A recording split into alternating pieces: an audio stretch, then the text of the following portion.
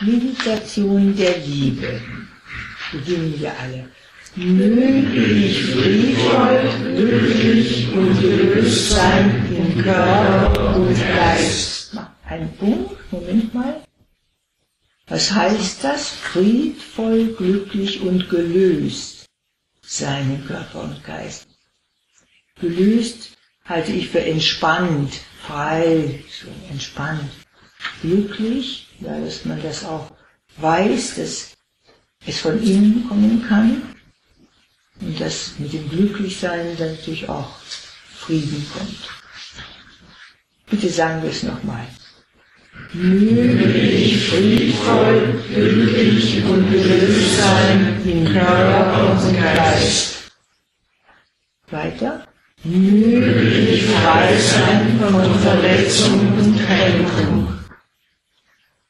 Möge ich frei sein von Wut, Verstrickung, Furcht und Ängstlichkeit.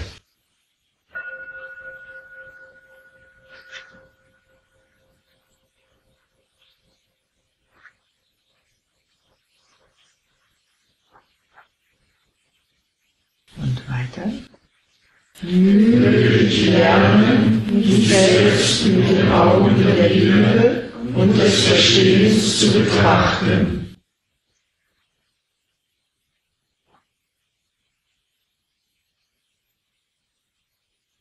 Ja, möge ich fähig sein, die Samen der Freude und des Glücks in mir zu erkennen und zu berühren.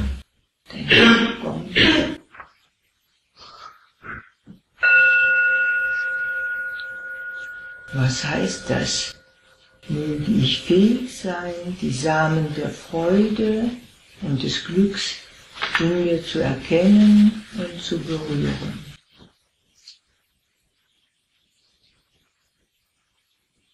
Die Samen der Freude und des Glücks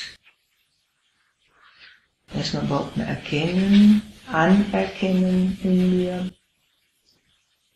Berühren heißt in Verbindung treten damit und sie auch nähren, Freude und Glück, ihnen Nahrung geben. Das nächste.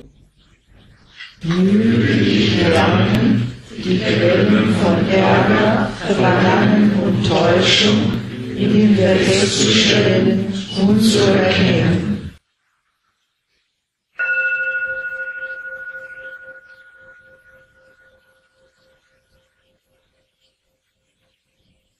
Was sind die Quellen von Ärger? Alles, was mich stört. Alles, was ich nicht richtig finde. Alles, was mich verletzen könnte. Mir unangenehm ist. Alles das kann Ärger auslösen. Und Verlangen ist mein Begehren. Haben wollen, festhalten wollen, mehr wollen. Alles das. Und die Täuschung, damit ist die Verblendung gemeint. Dieses Fixiertsein auf Dinge, Haften an allem, Kleben, sich anklammern, und glauben, man könnte Dinge festhalten. Die Täuschung.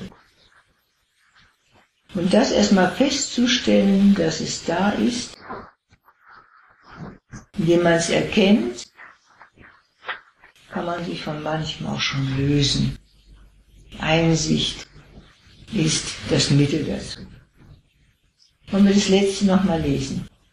Möge ich lernen, die Quellen von Ärger Verlangen und Täuschung mir festzustellen und zu erkennen.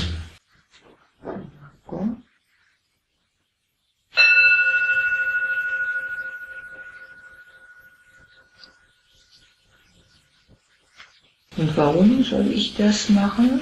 Quellen von Ärger, Verlangen, Täuschung. Weil der Buddha sagt, alles das, bringt mir Leid. Es geht immer wieder, dass wir das Leid überwinden können und auch wollen. Und das nächste. Glücklich erfahren, wie ich die Samen der Freude täglich mir nähern kann.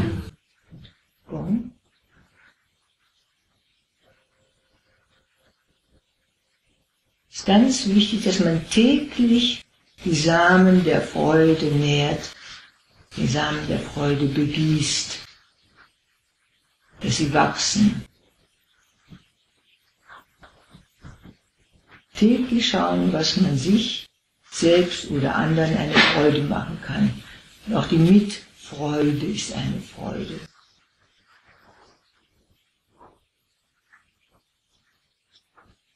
Und das nächste. Möge ich fähig sein, frisch, gefestigt und frei zu leben.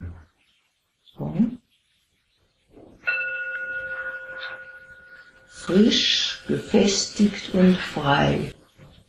Gefestigt ist auch diesen Selbstwert in sich sichern und wissen, das ist da in mir.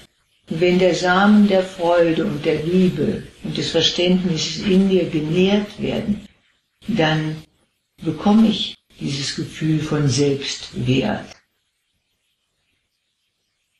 Und das auch wirklich immer wieder eine Verbindung dorthin schaffen. Das festigt mich innerlich, das gibt mir Stabilität. Dann kann mich kaum etwas umwerfen. Und so kann ich dann frisch, gefestigt und frei leben. Und das Letzte.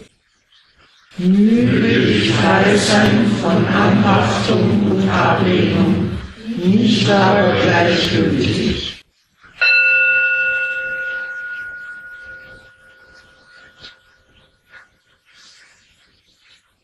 Das macht eine viel größere Freiheit noch, wenn man an nichts mehr hängt nicht an nichts klammern, aber auch nicht an der Ablehnung klammern. Kann man sehr wohl klammern an seinem Zorn und an seinem Ärger und diesen Dingen klammern wir oft. An seinem Groll. Alles das loslassen. Anhaften. Loslassen nicht mehr und trotzdem nicht gleichgültig werden. Das ist eine große Kunst.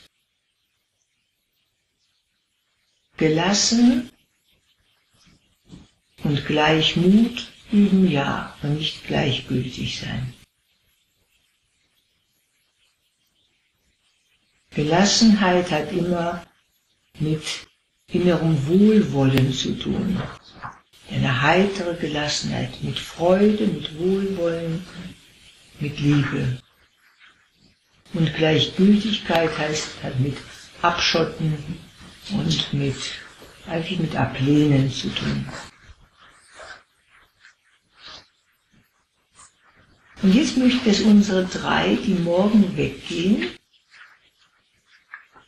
müsste eigentlich in unserem Kreis hier reinkommen irgendwie. Dann lesen wir nämlich das alles für die drei. Wie machen wir das? Habt ihr Lust, wollt ihr kommen oder wollt ihr lieber da hinten bleiben? Ihr könnt, könnt ruhig mal hier vorne hinkommen. Nehmt mal eure, euer Kissen mit und euer, ja? Und dann könnt ihr alle dazu aufstehen, das ist vielleicht schon leichter. Wir stehen mal auf, dann braucht ihr euch nicht extra dahin zu setzen. Wie wäre das?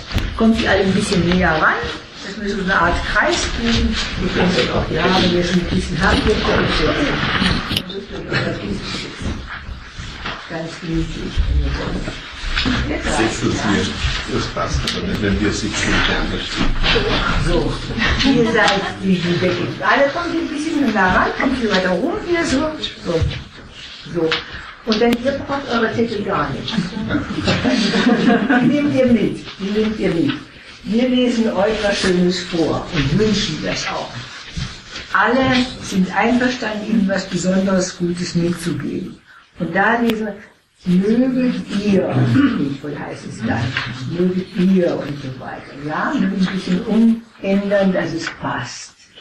Also, ihr Lieben, sagt nochmal euren Namen, dass wir alle wissen. Claudia, Das ist die Claudia, Hans, der Hans Barbara. und die Barbara. Also euch dreien wollen wir die Segenswünsche mitgeben. So. Also. Möget ihr friedvoll, glücklich und gelöst sein in Körper und Geist.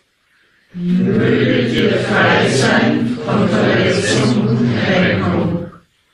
Möget ihr frei sein von Wut, Verschreckung, Furcht und Ängstlichkeit. Komm bitte. Es geht ein bisschen sanft. Möget ihr lernen, euch selbst im Auge der Liebe und des Verstehens zu betrachten. Möget ihr fähig sein, die Samen der Freude und des Glücks in euch zu erkennen